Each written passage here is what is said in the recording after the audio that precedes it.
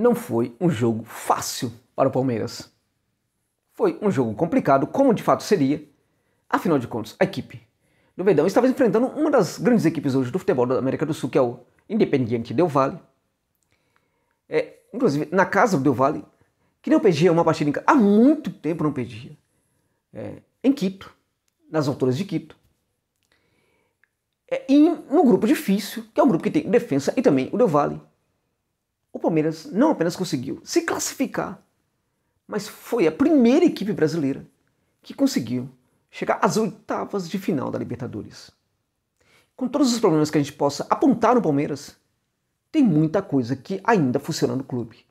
Com todas as críticas que você pode, que as pessoas podem apontar no trabalho do Abel Ferreira, tem muita coisa no trabalho do Abel que ainda funciona. E os resultados da equipe mostram isso mas não foi campeão da Recopa Sul-Americana, mas não foi campeão da Supercopa Kia. Não tem problema. Foi campeão da Libertadores. Foi campeão da, da, da, da Copa do Brasil.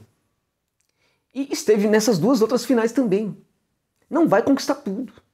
Mas quando estava nessas duas finais, e perdeu, inclusive, essas duas finais, era o Palmeiras que estava disputando essas duas finais. Não eram outras equipes do cenário do futebol brasileiro. A televisão, as TVs do Brasil estavam transmitindo o jogo, e nesse jogo quem jogava era o Palmeiras. O Palmeiras que estava jogando. Num caso, em uma das partidas, claro, contra outra equipe brasileira. Mas era o Palmeiras. E isso né, mostra que realmente, realmente a equipe tem muitos méritos, naqueles dois jogos, inclusive, com ressaca de conquistas bem maiores, com ressaca emocional, inclusive, da volta, inclusive, em alguns casos ali, é, é, para alguns jogadores é, do que aconteceu no Mundial.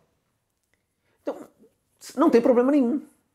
A questão é que o Palmeiras ainda está funcionando. O Palmeiras cada vez mais se projeta como equipe protagonista no cenário do futebol sul-americano e não somente brasileiro. Gostem as pessoas ou não. Gostemos ou não, tem coisa que funciona. Acho que, mesmo do ponto de vista dos dirigentes, tem coisa que funciona. Eu tenho criticado. Acho que está demorando para buscar reforço, sim. Acho que tem reforço pontual que ainda precisa ser buscado no mercado. E nisto a gestão do, do Verdão está falhando. Mas mesmo assim, a equipe está conseguindo dar conta disso. Por que, que dá conta disso? Porque quando tem problemas, esses problemas eles precisam ser muito destru destrutivos, né?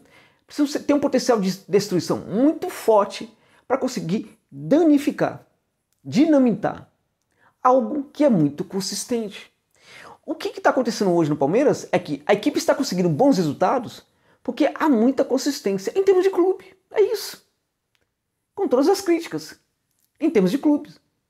E também em termos daquilo que a equipe apresenta dentro de campo. O Palmeiras tem uma equipe competitiva.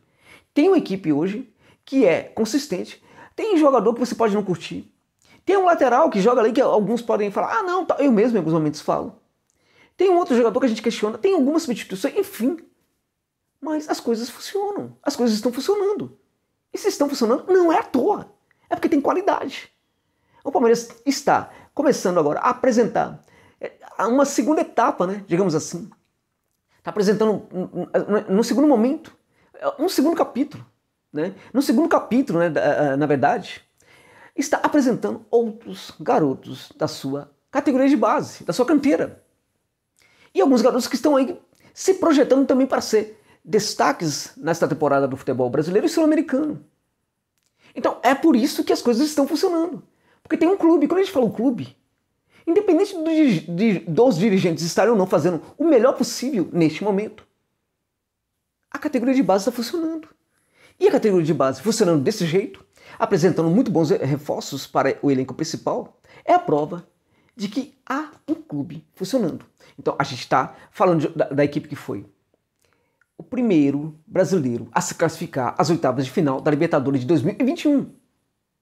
Não foi o Santos, não foi o Flamengo, não foi o Inter, não foi o Flu, foi o Palmeiras. Não foi o São Paulo, foi o Palmeiras.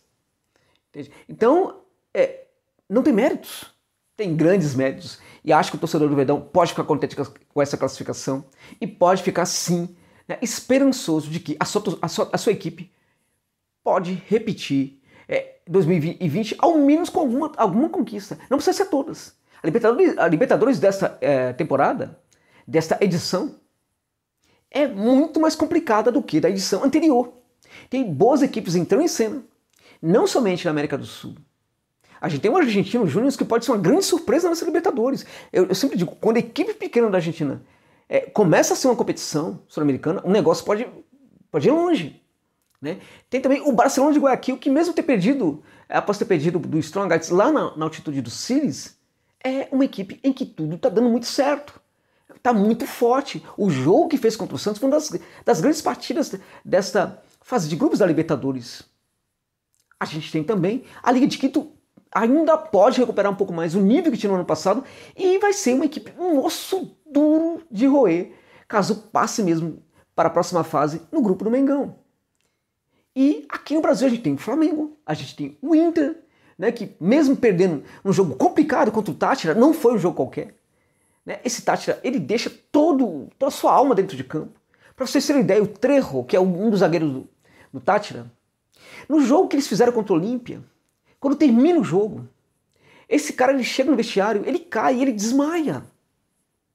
Tamanha dedicação desses caras dentro de casa. Então o Inter não perdeu um jogo para uma equipe qualquer. É uma equipe muito interessante essa do Tátira. Ah, vai longe na Libertadores e longe é passar de fase. Tá ótimo já. Por todos os problemas que eles enfrentam. Mas é uma equipe interessante. O Inter perdeu um jogo complicado. O Olímpia também foi lá e perdeu. As duas equipes, Olímpia e Inter, perderam no final. Quando a equipe venezuelana já não tinha muito mais condição física e acabaram, acabou vencendo a partida. As duas partidas muito na alma, muito tirando de algum lugar, não sabe se onde o resultado. Mas voltando ao Palmeiras, né, a gente está vendo, por exemplo, que tem adversários aí. Pode ter adversários complicados no cenário sul-americano e aqui no Brasil também. O Inter, o Flamengo, o São Paulo, né? que, na minha opinião, está crescendo demais e pode complicar muito. Então a coisa é complicada. Então o Palmeiras não está garantido que o Palmeiras vá conquistar é, Copa do Brasil, Brasileirão, Libertadores. Se conquistar um desses torneios, gente, um desses campeonatos, um desses canecos, já está muito bom. Muito bom mesmo. Claro, você torcedor quer conquistar tudo, você está certo. Mas eu acho que se conquistar apenas uma dessas taças, né, a temporada também vai ter uma qualidade muito parecida com a anterior. Por quê? Porque agora tudo está bem mais complicado. Aqui no Brasil, também a Copa do Brasil vai ser muito mais complicada, porque temos essas equipes aqui brasileiras que também estão se construindo de uma maneira bem bacana como equipes competitivas. Então o Palmeiras conseguiu passar, venceu, sofreu, a equipe sabe sofrer em alguns momentos. Em alguns momentos parece que não sabe sofrer, em outros sabe.